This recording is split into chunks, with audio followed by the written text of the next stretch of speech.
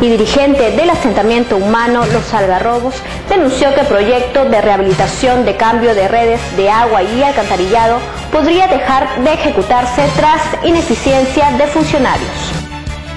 La presidenta del Comité de Gestión de Obras de la cuarta etapa del asentamiento humano Los Algarrobos, Silvia Flores, denunció irregularidades en el proyecto Rehabilitación del Sistema de Redes de Agua Potable y Alcantarillado en el sector. La dirigente mostró esta resolución directoral 033-2016, emitida el pasado 12 de abril por el Ministerio de Vivienda, donde se admite dicho proyecto. Sin embargo, aquí viene el problema. El Ministerio de Vivienda observó el proyecto porque no se habían levantado las 60 observaciones que se le hicieron en su momento. Silvia Flores indicó que una exfuncionaria del área de estudios y proyectos del municipio de Piura le habría comunicado que estas ya habían sido levantadas, pero grande fue la sorpresa cuando viajó a Lima.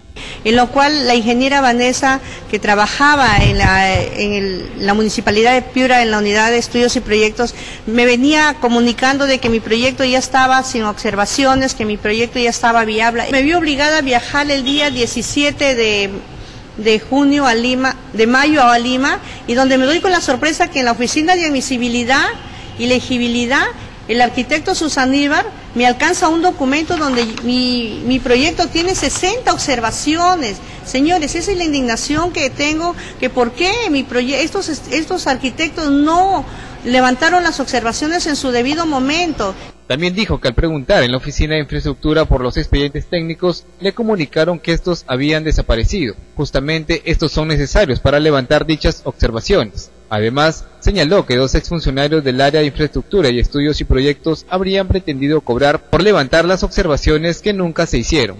Tengo en mis manos la copia de los, de los, de los documentos de los informes donde ellas están tratando de cobrar una suma de dinero alta. ¿Quién le cobra en ese caso?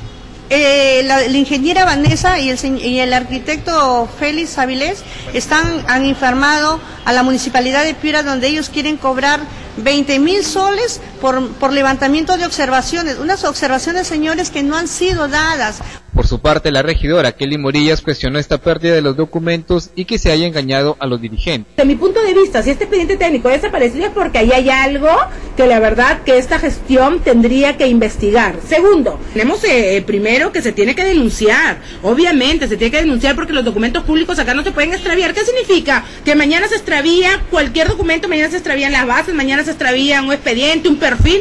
¿Cómo es que la municipalidad pretende manejar eso? Lo más grave además es que si no se realizan estos proyectos podemos perder 11 millones. Encima del dinero que no tenemos, tendríamos que perder 11 millones porque a algunas personas se les ocurrió llevarse o desaparecer el expediente técnico. Intentamos tener la versión del municipio de Piura a través del gerente territorial y de transportes, Carlos Zulueta, pero este lejos de respondernos indicó estar ocupado como siempre cuando lo queremos abordar sobre un tema en específico ingresando raudo a alcaldía. ¿Pero nos puede hablar siquiera del caso?